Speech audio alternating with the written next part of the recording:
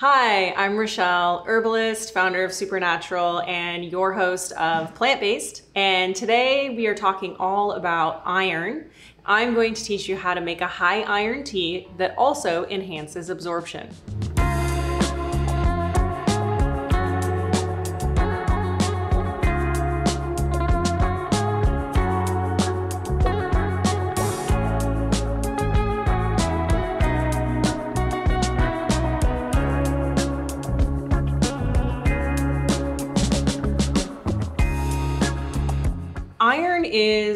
So important because it's an essential mineral.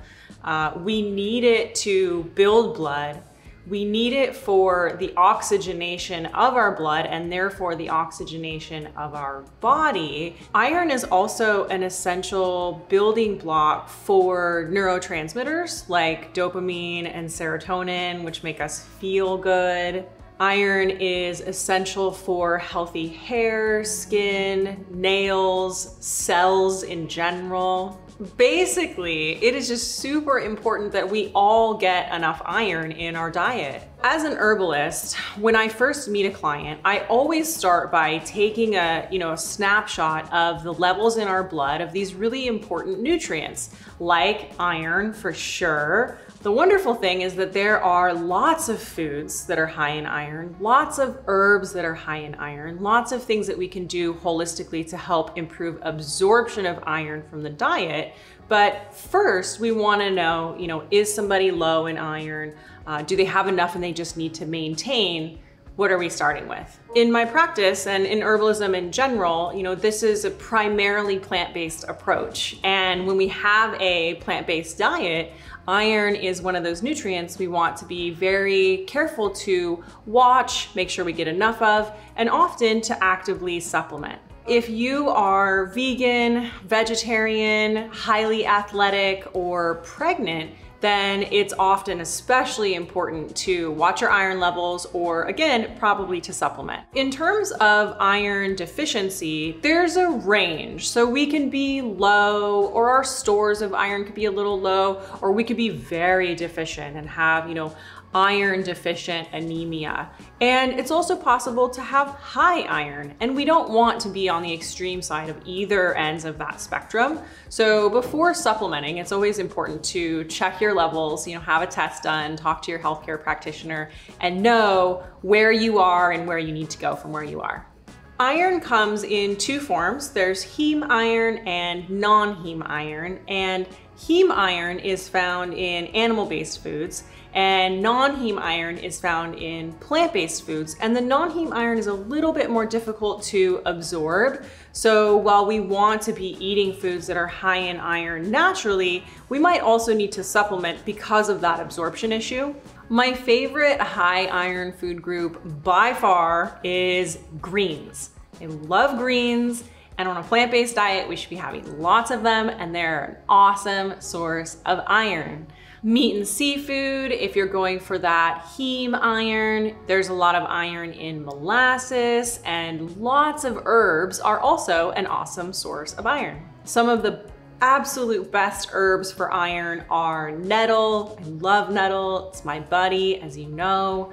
Alfalfa, dandelion greens, raspberry leaf, yellow dock, fennel, mints, chamomile, and thyme. Actually, thyme contains the most iron of any herb. One of the best ways to enhance absorption of iron is with vitamin C. And we find vitamin C naturally in lots of fruits and vegetables.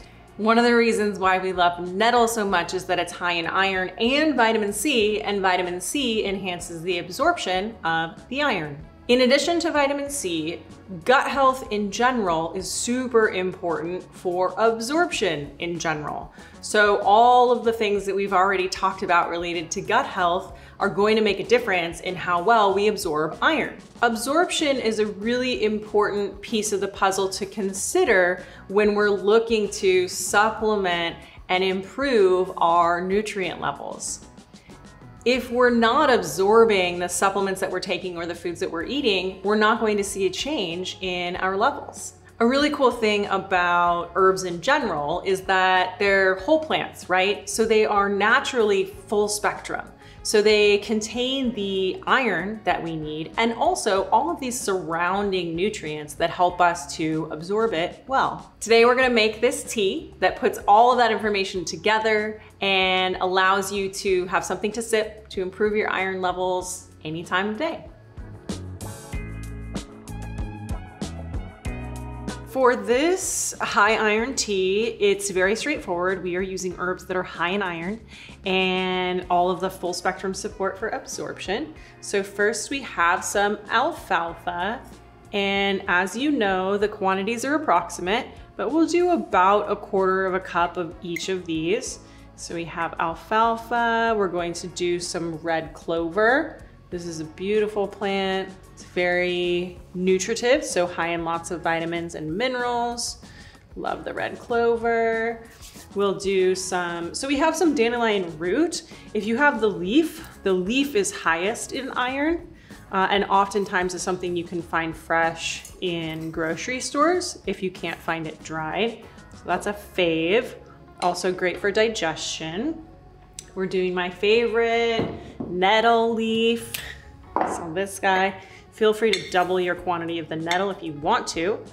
Remember, it's also high in vitamin C and chlorophyll. Look at that gorgeous green color. Love it. Love it, love it. Mm, we have some raspberry leaf. So again, you know, I'm using a bunch, but if you have just one or two of these plants, that's great, that's enough. Even just one is enough. And then we can't forget thyme, which is the highest in iron. You don't need to break it, but I'm making it difficult on myself and breaking it. So do some fresh thyme in there. That'll be beautiful. We'll also do a little bit of parsley. Lots of options. And the great thing about tea is that we can be um, we can be a little sustainable here and use the stems as well as the leaves. This is going to taste so great just nice and herby. Okay, that's that. And then you want to fill this pitcher or a glass mason jar, whatever you're using. Just fill it all the way up with tea hot water. So beautiful. I love making herbal teas, especially in large quantities because you can just see all of this goodness steep out over time. And speaking of time, it's very important that this steep for multiple hours if possible. So I love to make this at night and let it steep overnight or make it in the morning with the intention of drinking it later in the day because you want to give all of these minerals especially time to extract and they take a while to extract. So again, overnight infusion or make it in the morning and drink it later in the day. So now that we've allowed this to steep long enough to turn this really dark color, we get to enjoy.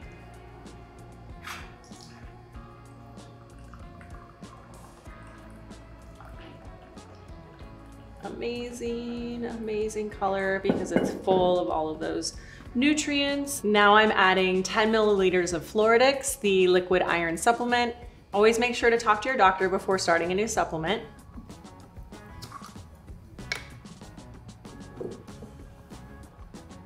We just get to add this directly to the tea. So we get our iron supplementation and everything we need for enhanced absorption. So we're clearly making a super infusion here. You could totally just have this as your daily iron supplement. The tea is helping to enhance the absorption. Especially helping to enhance the absorption is vitamin C, which we're getting from a little squeeze of lemon. And just to add one more layer of extra iron, we'll do a little sprig of thyme. Maybe two. And if you like your tea sweetened, then I would recommend using a little bit of molasses, which, you guessed it, is high in iron.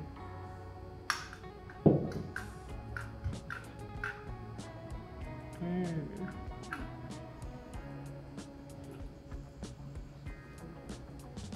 This looks gorgeous, actually.